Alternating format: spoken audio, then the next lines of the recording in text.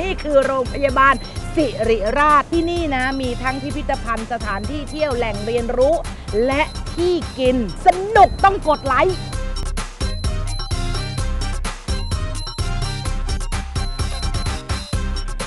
ที่นี่คือฟิตเนสเซ็นเตอร์ของโรงพยาบาลสิริราชมันทันสมัยมากเลยนะ